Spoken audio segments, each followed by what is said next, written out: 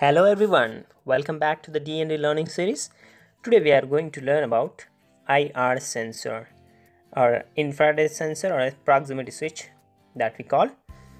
This is a sensor which is digital in nature most of the time and you may be wondering about um, what are these uh, pins on it, what are these LEDs. So let us see in detail what, what are the name of all these components. First we will see about the pins it is having three pins VCC, GND and out. So VCC is a pin which we connect to the 5 volt on the Arduino board. The second one which is called GND which will go to the GND on the Arduino board which is negative.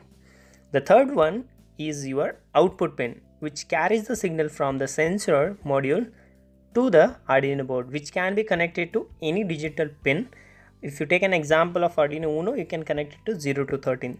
There is one more component on this module which is potentiometer or called as trim pot which is used to increase or decrease the range of a sensor. That means by increasing and decreasing the resistance using this we can increase and decrease the range of a sensor. So this is a sensing part. It is having IR emitter and IR receiver. So both of these combinedly work to give a signal. So this part is called as module. Okay? So this entirely is a sensor module ir sensor module. So here is the difference. You can see that if you want to exactly replicate the ir sensor on breadboard this is how it will look like. So to just reduce that so we are having ir sensor in the form of module which will be easy for us to use in a circuit where we are using a multiple number of sensors.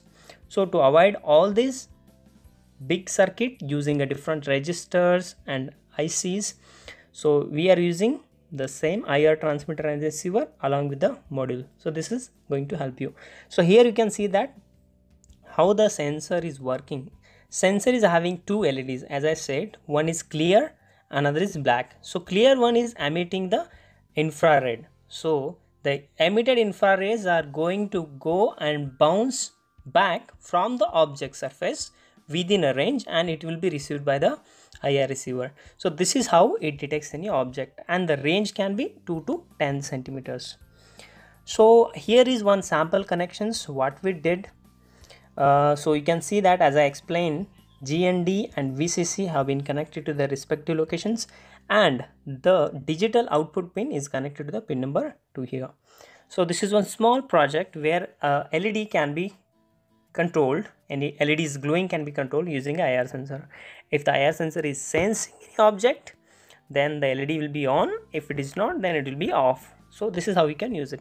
So to understand the IR sensor better, here you can see a general life example, automatic tap.